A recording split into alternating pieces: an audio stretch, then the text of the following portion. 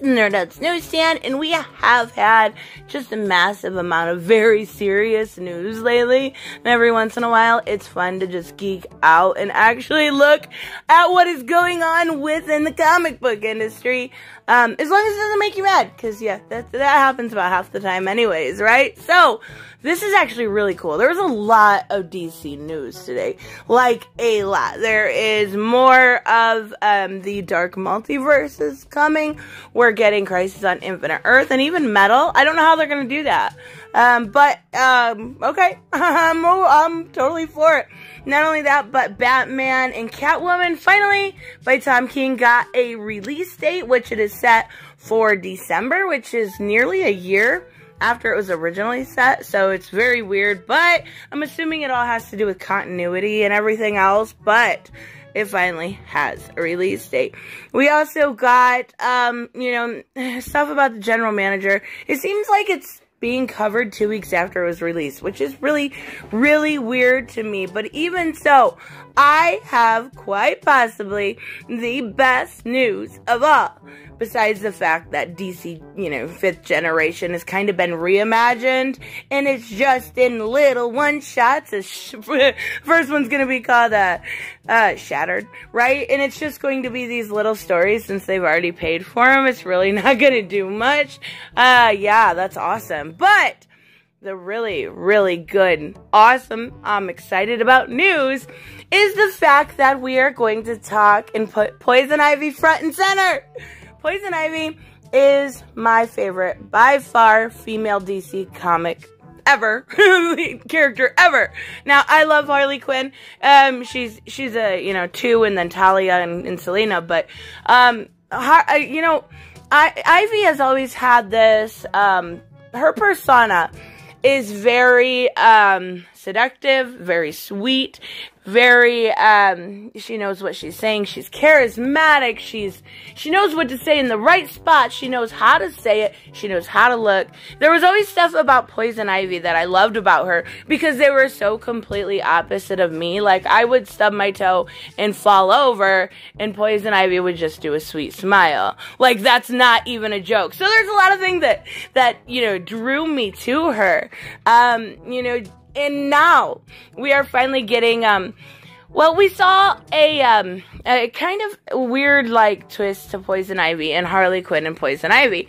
Um, you know, I, she had this weird doppelganger. They kind of like uh molded together, and then we haven't seen much, right? We saw her. I think it was in one of the death metal ones. I remember.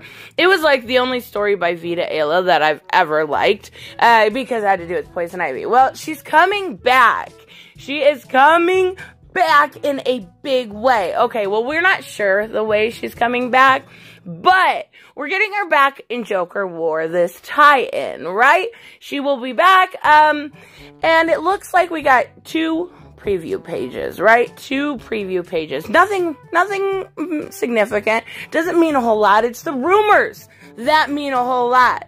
It looks like Poison Ivy, um, we'll have to pick a side in Joker War.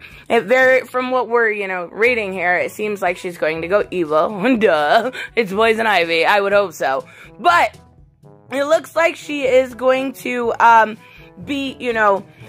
Huh, committed to this uh, powerful activist, right? Who kills when necessary, when angered, right? So it sounds like Poison Ivy, but we got a new name. I was so mad when I read this at first because I was like, don't make it stupid, don't make it stupid, don't make it stupid or I'm gonna be pissed.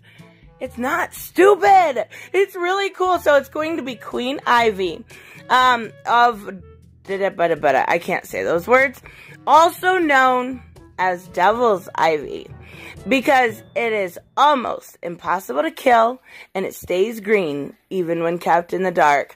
How fucking cool does that sound? Like that sounds awesome. I love every single little bit about it. Like, I, I can't believe, I, I feel like the last, you know, little bit of news we've had for a while with DC has been absolutely terrible. This is really cool. Like, I don't know how they're going to um, be representative of this, right? Because right now, Ivy's just kind of chillaxing. But it does look like there are rumors that a major Poison Ivy storyline um, outside of the main Batman book, maybe even its own comic for Ivy. Now, what I would love, and I do think this is probably um, me just being optimistic because Steven Sejic has since left DC, but originally there was um, supposed to be if you've read the Black Label book, Harleen by Steven Sejic, written and uh, drawn by him, you wouldn't know uh, the style I'm talking about here. That would be the most perfect way to reintroduce Ivy as if you're kind of trying to do like a rebirth of her, right? He would be the perfect, perfect choice when it came to that. Now, unless it's already done, it's not going to happen, right? Unless the story would already be done, you know, you call it Pamela. Like, come on, it could be so cool. And by whatever happens at the end, she could be uh, Devil's Ivy. That's hot. Like, I love it so much. Um, but there's no way.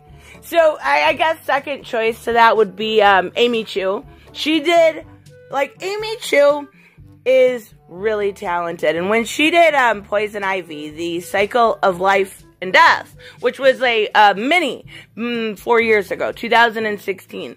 Um, that is the last time Ivy's had her own story, right?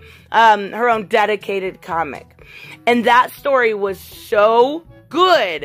Um, I was gonna review it because it's one of my favorites, but I didn't know people would be interested in a offshoot, you know, in the in Batman's Rogues Gallery. But that story is still one of my favorite stories today. It's like top ten for me. I love it's a different side, right? You see. Ivy always as this eco terrorist. You see her as this kill all men, crazy ass bitch. But this side, you see like this motherly Ivy, and you're like, whoa, I didn't know Ivy had a uh, motherly, well, leaf in her body at all. So she, she, you know, it's, it's fucking perfect. I love everything about it. So if Amy Chu were to come back, that would be awesome. I would love to see, oh, I don't remember her name. I'll put it up. But it's, um, who did the Ivy and, um, actual Harley comic that just came out last year, right? And the art I would love to see done by her, right? I'm like picking my favorites here. I apologize. This has nothing to do with the news. I'm just telling you what I want. But um that would be awesome. She did like her Poison Ivy was so hot. Like I loved it. Please. Or even Laura Braga. She would be good too, right? So there's so many things Oh, I just need to do a dedicated live stream to Poison Ivy because I could talk about it all day long. But Queen Ivy, right? Queen, queen Ivy, that's such a cool fucking name. Like she is a queen. I don't know if it's gonna have something to do with the doppelganger, um, or not. But even so, like we're gonna get this new Queen Ivy, and I bet you how much you want to bet. Okay, DC, listen right now. Come on, come in closely. Here's what you need to do to make this a big moneymaker for you. Make her sexy. See? I just made you a million dollars. Like it really wasn't that hard. Give her some tickle bitties, make her sexy, and make leaves just in the right areas and make her seductive. All the things you've done from before. Don't make her a 12 year old boy that could pass off for. She's not even like, like, okay, so you know how um, at least when I was younger, you know, you would see two girls, like men, men, men, men would see two girls kiss and then be like, that's hot. And now they see it and they're like, that's so SJW. Yeah, bring it back. Use Ivy because she's gay, right? So bring it back to that's hot. You need to make it that's hot, not, ooh, is that boy or girl? You know, like it's really easy. I, you can do this. It's easy. Come on, bring it back. Anyways, let me know what you guys think about the new name, whether you like Queen Ivy or not. I absolutely love it. I love the idea of a new mini, even if it's not till next year. I can't fucking wait. Just please, please, just, just I'm glad Steve Orlando and some of those others are gone. If Tom King has this title, I am going to get my happy ass in a car, drive to the airport, and personally go to you know, DC's headquarters, wherever that's at. And I am going to sit out there and pick it like I belong to Black Lives Matter. Come on. Anyways, let me know, of course, what you guys think about this, and I will see you in the next one. Bye bye. Hey guys, I want to give a huge shout out to my Patreon and subscribe stars. You guys literally make this channel possible. Huge thank you to Cage the Mick, Robert Mick Twiz, Black Knight Fool, Brucey, Chris Z, David L, David Rafford, Jeffrey Allen Carnes, Mighty Balls, Mike Buckner, Maizen Barbosa, Ruskart, Ryan Decker, Robert Hoffman, and Doc Holliday. You guys are absolutely amazing, and thank you so much for all your support. Don't forget on the way out to like as always if you enjoy the content and hit subscribe. And I will see you in the next one. Bye bye.